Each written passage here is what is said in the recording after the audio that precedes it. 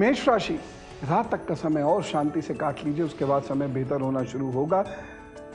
दिन में गुस्से से बचें और किसी को बिना गहराई से जाने, समझे कुछ नहीं कहेंगे आप।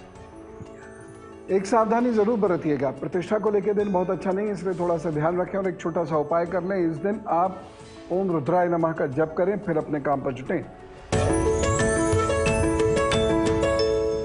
वृषभ राशि मन थोड़ा व्याकुल रहेगा, छोटे भाई बहनों से भेंट हो सकती है, मुलाकात हो सकती है और वह लाभप्रद भी रहेगी। लेकिन भाग्य के रास्ते बंद नहीं होंगे, इसलिए चिंता ना करें। बस एक सावधानी रखें इस दिन। झटके से वज़न मत उठाइएगा और अपने स्वास्थ्य का थोड़ा सा ध्यान ज़रूर रखिएगा। उपाय क्या करना है? इस दिन आटे का दान अवश्य करें। मिथुन राशि धन को लेकर दिन बहुत अच्छा नहीं है। साथ ही साथ अपने मुँह, दांत और गले का भी ख्याल रखना होगा। जिन लोगों को पेट का इन्फेक्शन रहता है, वह भी ध्यान रखें। एक सावधानी इस दिन बहुत आवश्यक है। इस दिन रिश्तेदारों से बहुत अच्छे से व्यवहार कीजिएगा। उपाय क्या करना है? इस दिन को बेहतर बनाने के लिए सब्जियों का दान, कच्ची सब्जियों का दान ज़रूर कर दीजिएगा। कर्क राशि घर गृहस्थी में किसी किस्म की परेशानी आ सकती है, पेट की समस्या आपको हो सकती है, ध्यान रखकर चलने की ज़रूरत है। एक सावधानी विशेष रूप से बरतनी है, इस दिन पार्टनरशिप में मत जुड़िएगा। उपाय क्या करना है?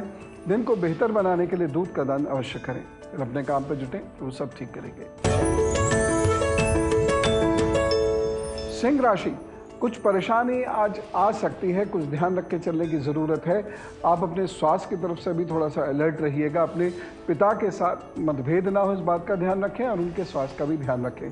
एक सावधानी, यदि आप प्रेम संबंध में हैं विवाह करना चाहते हैं, वहाँ कोई परेशानी ना हो आपके व्यवहार के कारण, ये ध्यान रखें। उपाय क्या करना है? इस दिन को बेहतर बनाने के लिए गायत्री का जप कीजिए, फिर अपने काम पर जुटिए, प्रभु सब ठीक करेंगे।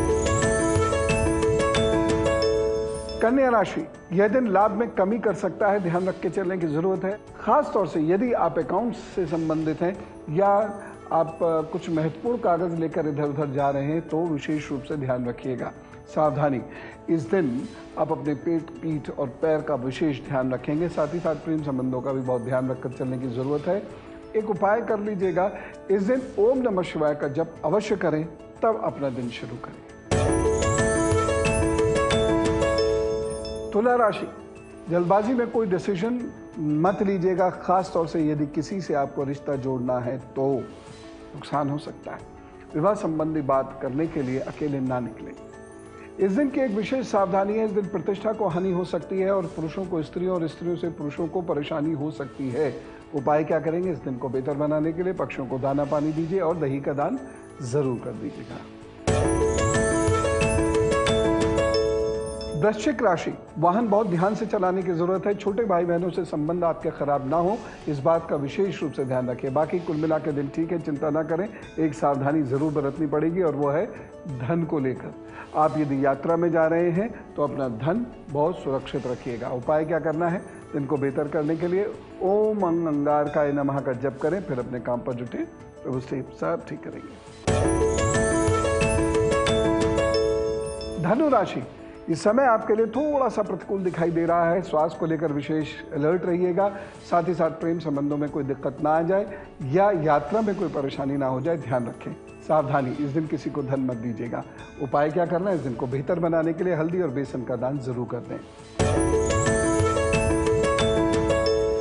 मकर राशि, यह दिन अच्छा नहीं है। दुर्घटना के संकेत मिल रहे हैं, इसलिए थोड़ा संभल के दौड़े, भागे या फिर वाहन चलाते वक्त भी अपना बहुत ज़्यादा ध्यान रखें। सावधानी, इस दिन किसी को धन मत दीजिएगा और एक उपाय कर लीजिए।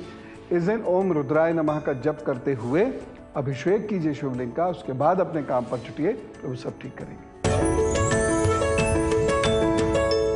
कुंभ राशि, दिन थोड़ा सा कमज़ोर नज़र आ रहा है। इस दिन आपकी प्रतिष्ठा पर कोई आँच आ सकती है या पिताजी के साथ मतभेद हो सकते हैं या उनके हेल्थ में थोड़ी सी कुछ गड़बड़ हो सकती है। ध्यान से चलिएगा। इस दिन की विशेष सावधानी है यात्राओं में। यदि आप यात्रा में जा रहे हैं तो अपना धन, यदि छोटे बच्चे हैं तो उनका और अपने स्वास्थ्य का भी बहुत ध्यान रखें। उपाय क्या करेंगे इस दिन को बेहतर बनाने के लिए? सूर्य को जल दीजिए और आज सफ़ेद कपड़े पहनिएगा। यदि वो संभव नहीं हो पा रहा तो सफ़ेद रंग का धागा अपनी दाहिनी कलाई में बाँध लीजिए और फिर छुट्टी अपने काम पर तो वो सब ठीक करेंगे। मीन राशि यह दिन बहुत अच्छा तो नहीं कहा जा सकता, लेकिन फिर भी आपको कोई हानि नहीं होगी। भाग्य पक्ष ठीक है, यद्यपि बाधाओं के बाद ही कोई कार्य होगा।